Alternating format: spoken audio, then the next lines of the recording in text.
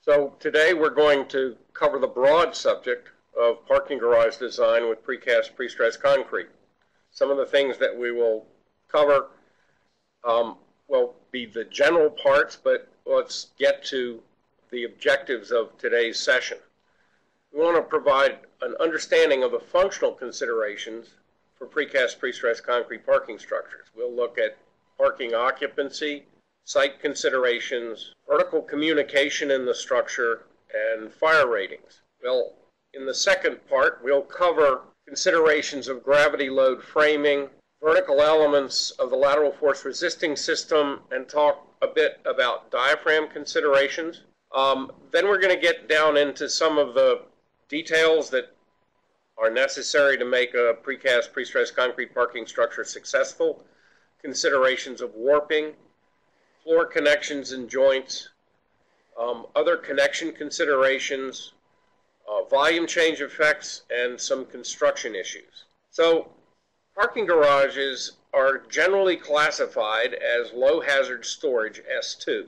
There's a special section to cover parking garages in Chapter 4 of the IBC, Section 406, Motor Vehicle Related Occupancies. Within that section, garages are further classified as either open or enclosed. And we generally strive to meet the requirements for open parking structures whenever possible because the requirements for an enclosed parking structure include sprinklers, positive ventilation, and there are other restrictions, uh, other provisions in the code that apply to an enclosed parking structure that are not applicable to open parking structures. Um, so generally speaking, if we can des design for the openness, the ventilation of an open parking structure, we're going to have a more economical and actually a more user-friendly structure. Notice that significant parts of Section 406 in IBC 2015, the current IBC adopted in most localities, uh, is marked with a vertical bar indicating changes from the last edition of the code. So it's important if you're going to work in the design of parking structures and you've done it before, it's probably a good idea to go back and take a look to see what, what has changed from the 2012 version. Um, what do you need to pay attention to? So functional design covers a whole range of different topics and different issues that need to be considered.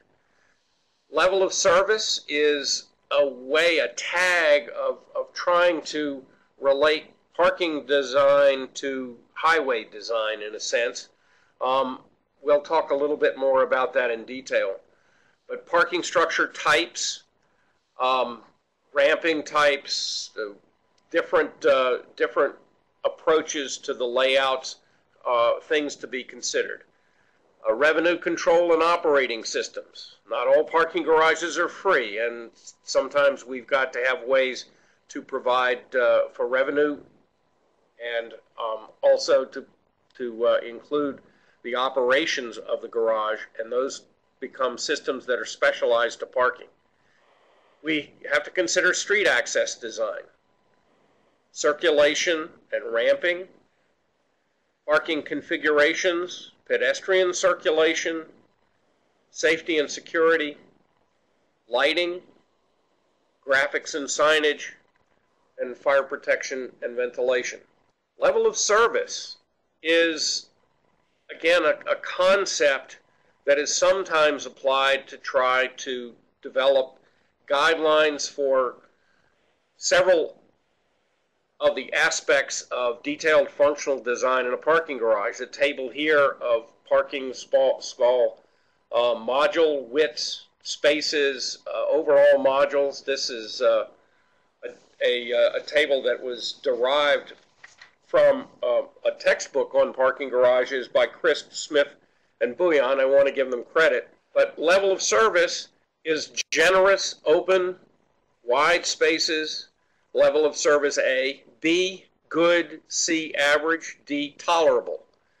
Um, largely, level of service or what is applicable to your layout and the functional design depends on who's using this. So parking garages are not something that's set out in a field, people use it, and, and that there's no other ancillary use. They're always in support of some other destination. Where are we going? What's this about?